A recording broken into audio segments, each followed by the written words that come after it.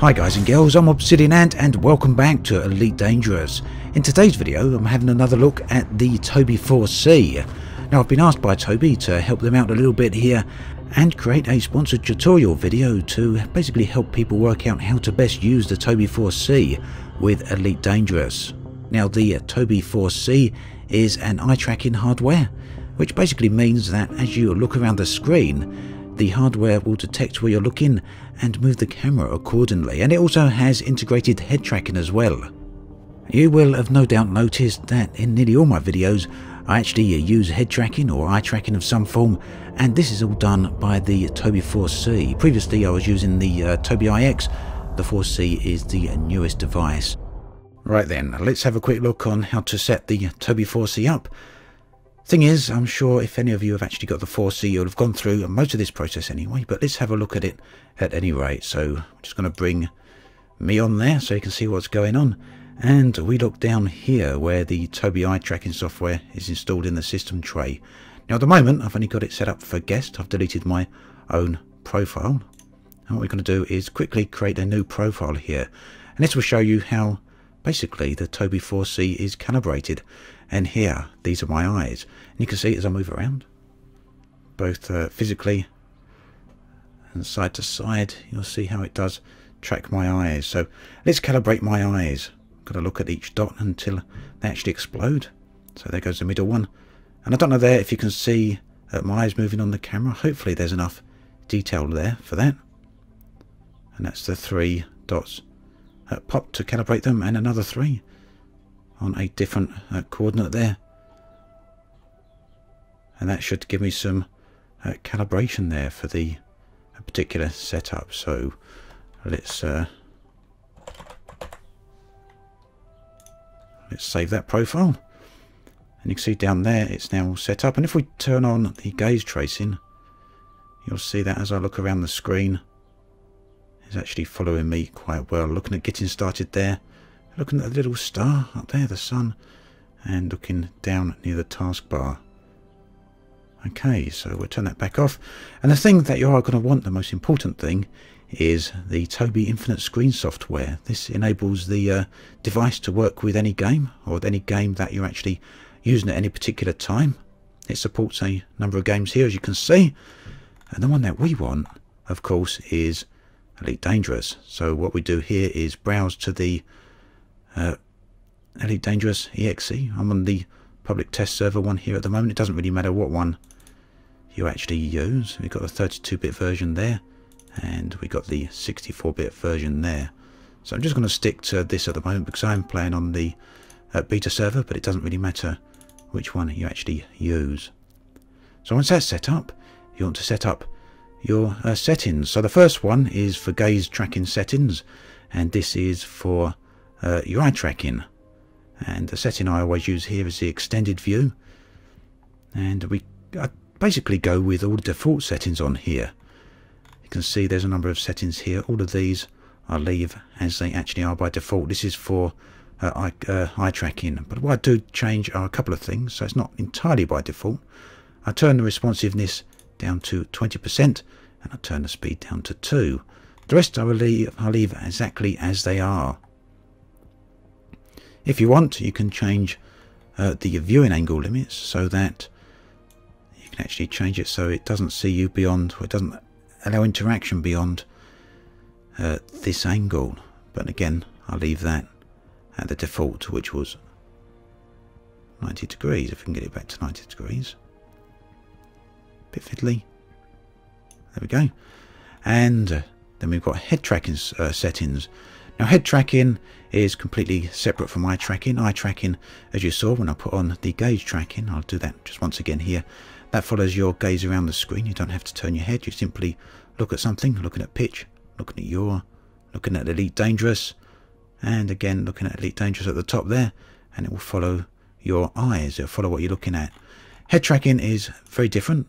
It works a bit like other head trackers, except here you don't need to wear any equipment and you don't need to use any infrared settings or anything like that. You simply turn your head up and down, left and right, and it will follow it. So head tracking, my settings for Elite Dangerous, I'll leave it on direct. Responsiveness, I'll leave at 100%. Speed, I'll turn this all the way up. Right up to 10. Exponent, uh, we go through what exactly these mean a little bit later. I'll turn that to a 150. Inflection point, down to 20.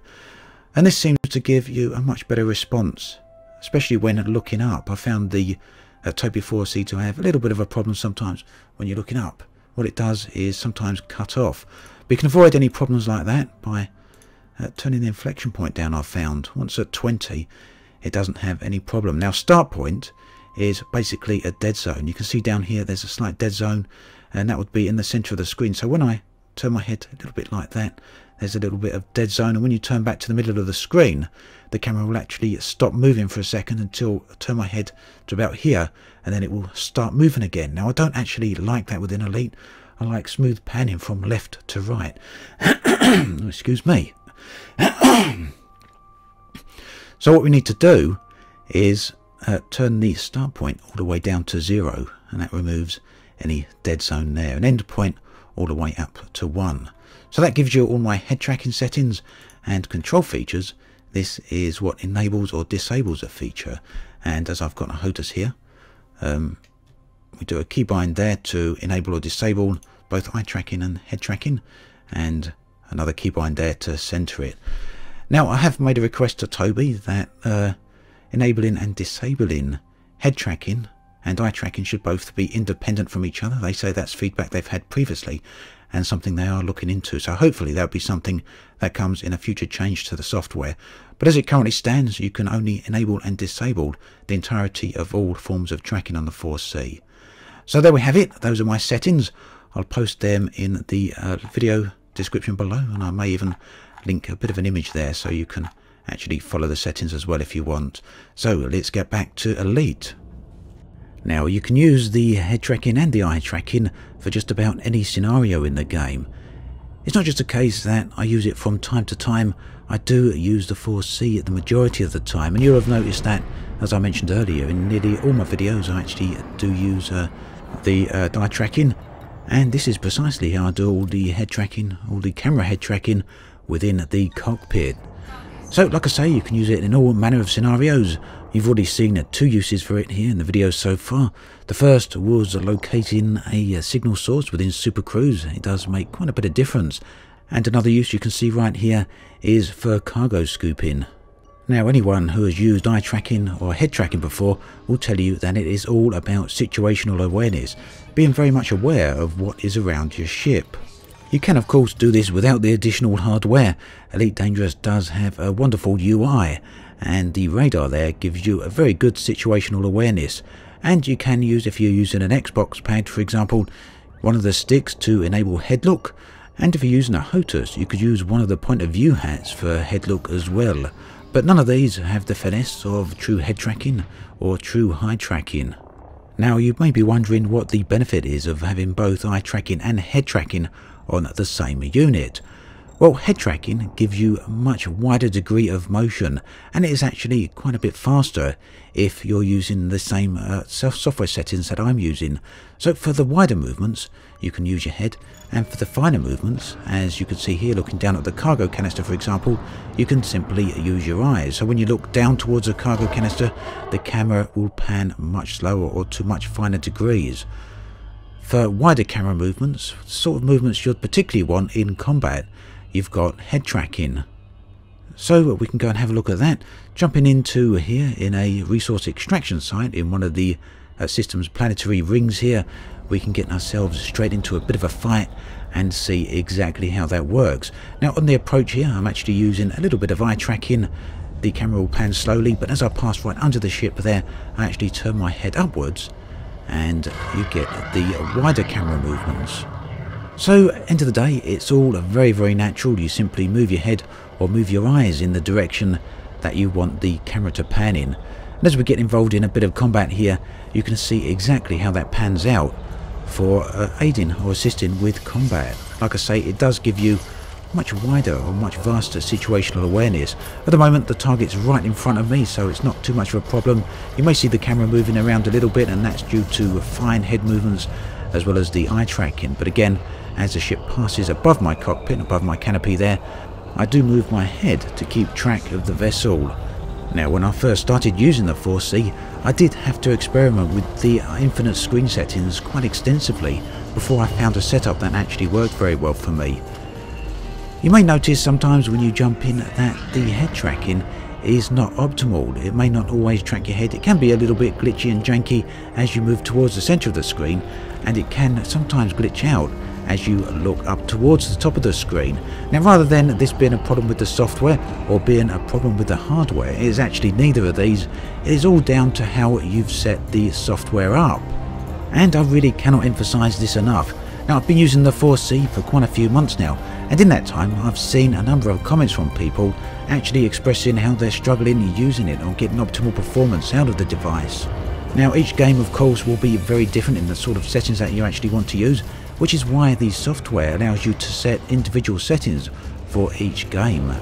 Now for head tracking here, speed is very very important. You need to set it right up to the top here because if you don't, you're going to notice that as you move your head, the camera is going to be panning far too slow for you to be able to keep track of any vessels. As you can see here, I can very easily keep track of any ship as they fly by.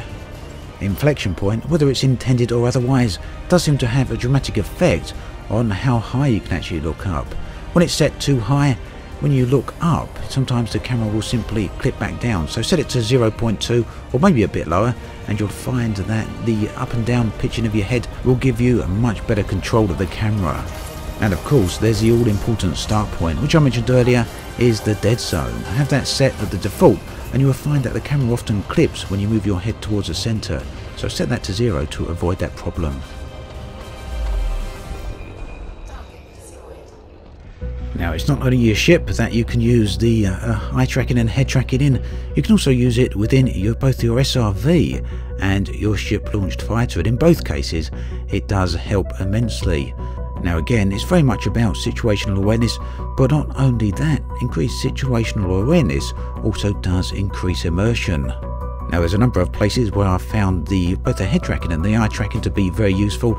In particular in SRV when you're coming to bases here, you can actually look about to keep an eye on where units are as well as uh, base facilities, which of course means you don't have to rely on the radar quite as much as you might otherwise. I've also found the head tracking to be particularly useful when it comes to scooping up materials. And that's because just as everything else within the game, you can actually select your target by pitching your head or panning your head, looking towards what you want to target and then select it. You don't actually have to have all the targets centered in order to do that.